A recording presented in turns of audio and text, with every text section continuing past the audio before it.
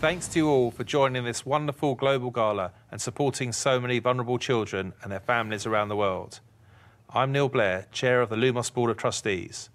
It really is a joy to see so many remarkable stories of courage and strength throughout this gala programme. As you can imagine, it takes serious determination to challenge and change a worldwide system that involves millions of children. It would have been easier to turn away, but Jo Rowling decided to tackle it head on because she knew that children can be cared for in families, in their own communities, and achieve much better outcomes in life. That's because Jo Rowling is passionate about children in her humanitarian work and in her writing. She is, as we know, a master storyteller. Ladies and gentlemen, please welcome back best-selling author J.K. Rowling reading for the first time on a global stage from the tales of Beedle the Bard, the book she wrote to help fund the work of Lumos. Thank you, Neil. We've been hearing stories today about courage, about hope, and about the extraordinary commitment it takes to create change. Several years ago, I wrote a book of short stories to support the work of this dedicated team of people at Lumos all over the world, a team I'm very grateful for and of whose work I'm very proud.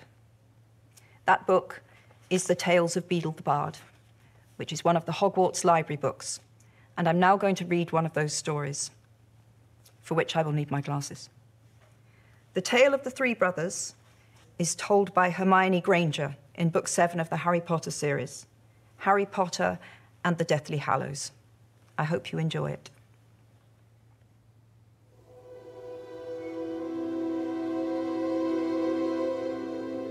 There were once three brothers who were traveling along a lonely, winding road at twilight. In time, the brothers reached a river too deep to wade across and too dangerous to swim. However, these brothers were learned in the magical arts, and so they simply waved their wands and made a bridge appear across the treacherous water. They were halfway across when they found their path blocked by a hooded figure, and death spoke to them. He was angry that he had been cheated out of three new victims, for travellers usually drowned in the river. But death was cunning. He pretended to congratulate the three brothers upon their magic and said that each had earned a prize for having been clever enough to evade him.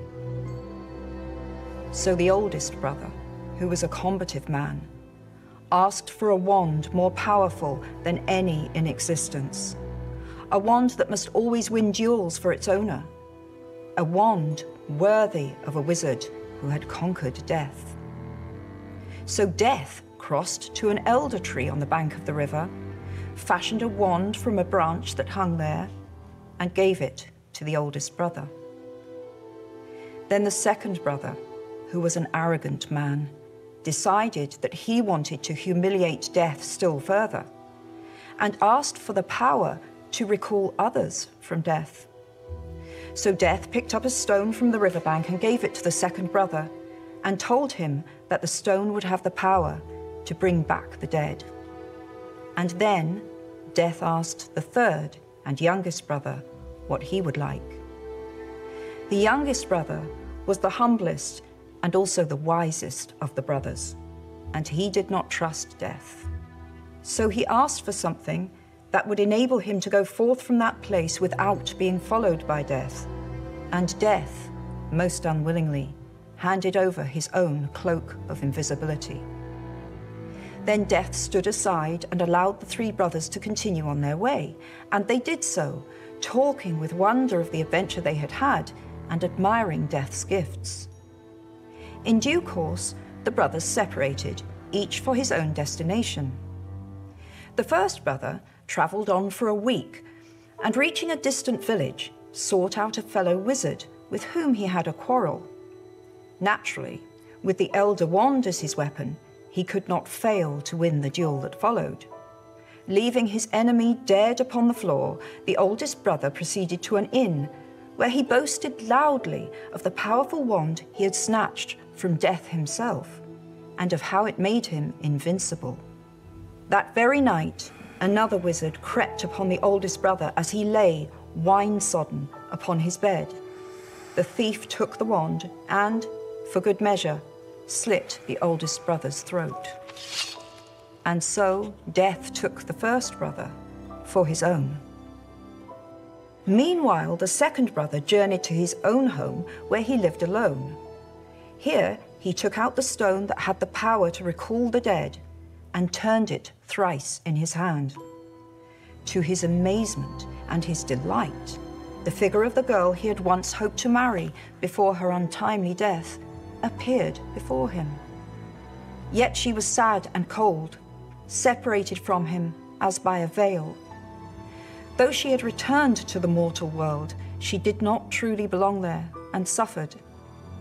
Finally, the second brother, driven mad with hopeless longing, killed himself so as truly to join her. And so death took the second brother for his own. But though death searched for the third brother for many years, he was never able to find him. It was only when he had attained a great age that the youngest brother finally took off the cloak of invisibility and gave it to his son. And then he greeted death as an old friend and went with him gladly, and, equals, they departed this life.